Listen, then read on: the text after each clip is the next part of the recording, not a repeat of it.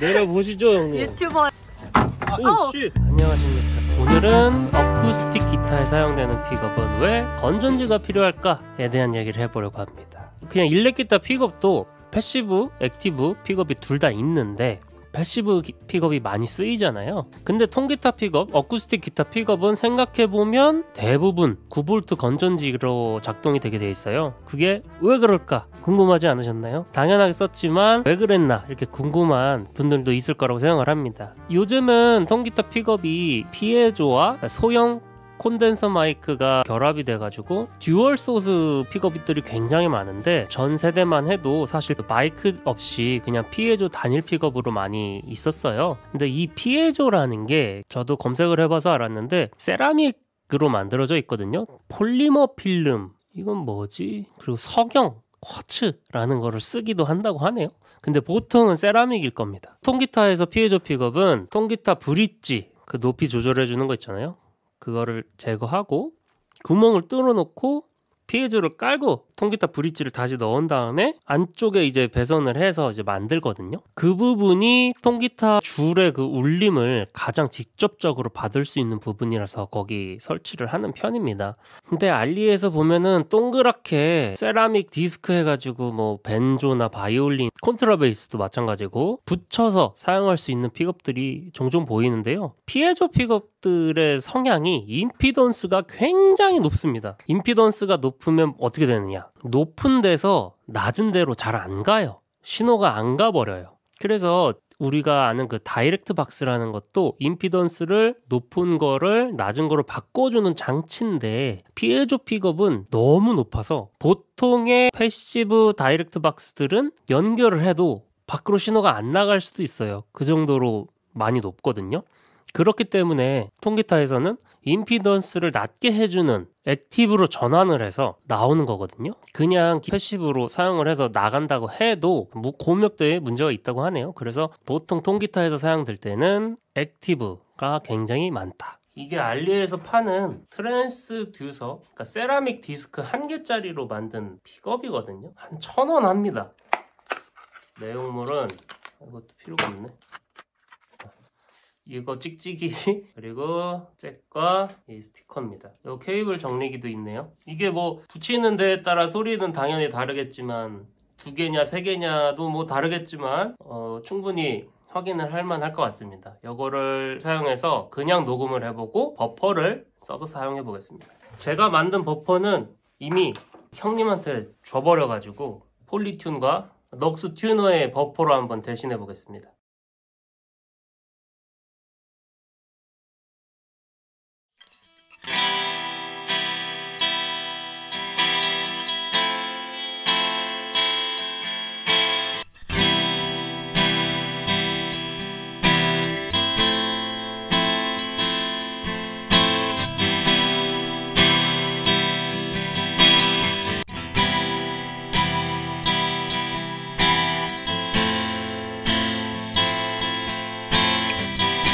근데 콘트라 베이스 하시는 분들이 piezo 픽업을 그 브릿지 쪽에 끼워서 사용을 하세요. 사용을 하는데 제가 같이 공연 자주 하는 형님이 있는데 저랑 저번에 어디서 공연 같이 했거든요. 근데 신호가 안 빠지는 거예요. 그래서 전 바로 알았죠. 아, 이거 임피던스 matching이다. 음향 업체에서 갖고 있는 DI가 그 Hi-Z, 그러니까 이 piezo 픽업을 담아낼 수가 없는 passive DI였어요. 그래서 소리가 안 나가지고 결국 마이크를 대고 했는데 형님이 아 이거 왜 그런지 모르겠다. 어디에 가면은 소리가 잘 나고 어디서는 소리가 이렇게 안 나고 어디선 퍽퍽거리고 그게 임피던스 때문이거든요. 그래서 제가 요 veroboard와 트랜지스터를 이용해서 버퍼를 active 버퍼를 하나 만들어서 한번 선물을 한번 해보려고 합니다. 뭐 OP amp도 있고 트랜지스터도 있는데 제가 그냥 ChatGPT한테 가장 적당한 게 뭘까라고 물어봤을 때 그냥 트랜지스터 제가 갖고 있는 것 중에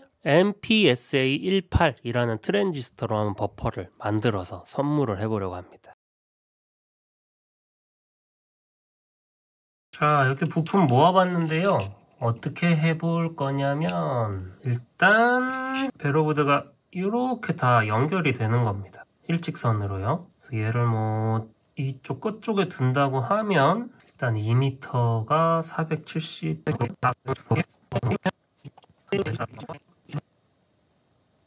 아씨 이거 부족하네. 다시. 지금 소리가 안 나는데 제가 이걸 연결하는 순간 전원이 입력되면서 소리가 나야 합니다.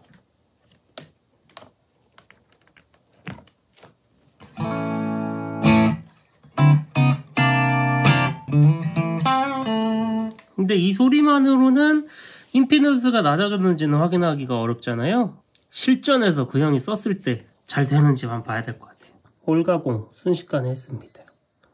잭, 잭, 스위치, LED. 자, 조립을 이제 해보겠습니다. 이 설계를 제대로 안 하고 그냥 보이는 대로 했더니 좀 크기가 커진 것 같아요. 먼저 잭부터. 글루건을 좀 사용해 보려고 합니다. 리드를 이런 식으로 실장을 할 건데 스위치는 이 작은 스위치 사용할 겁니다. 누를 때만 접점이 됩니다. 토글 스위치랑은 다르죠? 제가 이거 한번 한번 사봤는데 사실상 이거를 토글 스위치처럼 이렇게 고정할 수 있는 건 아니거든요. 또 봐서 아시겠지만 이 너트가 없잖아요. 이것도 글루건으로 한번 고정을 해보겠습니다. 글루만 있어가지고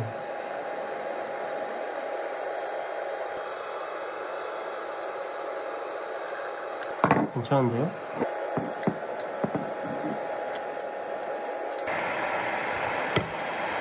여기를 인, 여기를 아웃으로 하고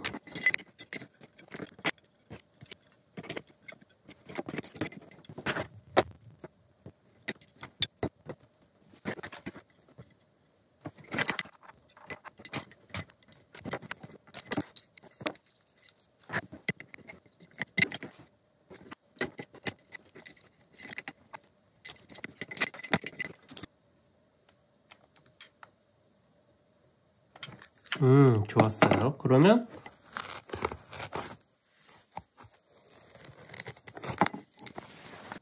그래.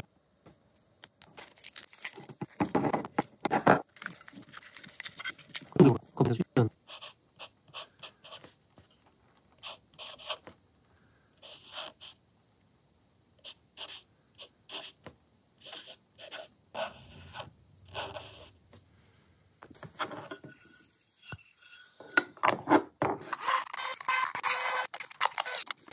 이 LED는 언제 불이 들어오는 거냐면 배터리가 7V 이상의 전압을 내어줄 때 불이 들어옵니다. 배터리가 9V를 계속 내다가 갑자기 0V가 되면서 끝나는 게 아니라 9V를 내주다가 점점 8V, 7V 내려가면서 힘을 다하는 거잖아요. 건전지의 전압이 내려가다가 7V 이하가 되면 이 불이 안 들어오는 겁니다. 완성. 테스트 해볼까요? 이게 in, 이게 아웃. 크, 이거 너무 잘 만들었다. 테스트 해볼게요. 소리만 나면 되는 겁니다.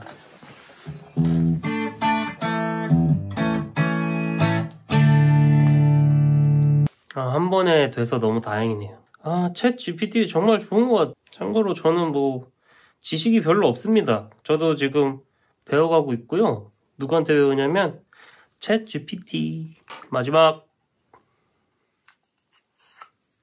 완성.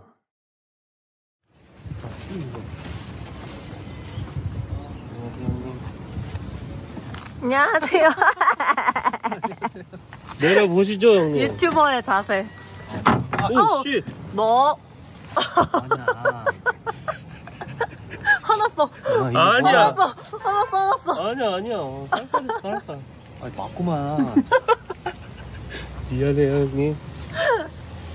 형님, 잘 이렇게 되, 되면 안 되죠.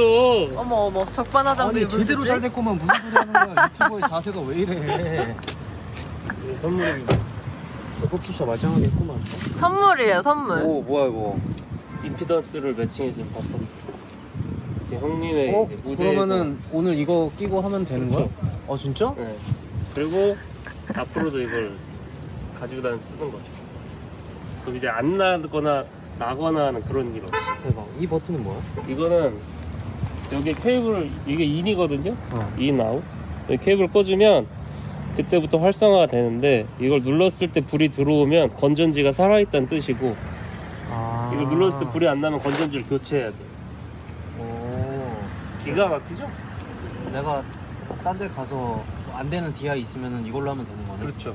근데 DI가 되더라도 이걸 항상 쓰면 좋긴 해요. 뭐 여기다가 너 유튜브 이름 같은 거라도 적는 거 어, 여기 여기 열면 적혀 있습니다. 네. 아 근데 이거 형을 생각하면서 제이쿤이 한 땀 한 땀 만든 유튜브 거라고요. 이거는 죄송하게 됐습니다. 이거. 아니 이 값을 이렇게 물어내. 말하면 어떡해. 물어내.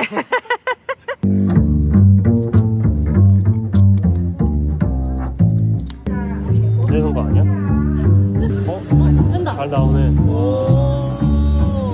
이야.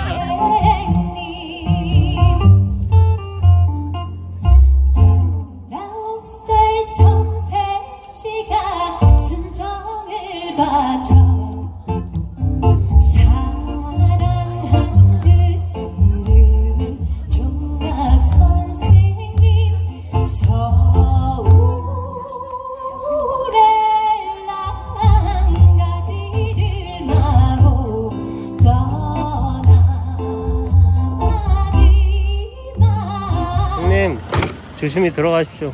아 너무 좋았어. 와, 그거 하나 꽂으니까 다 해결되더만. 역시.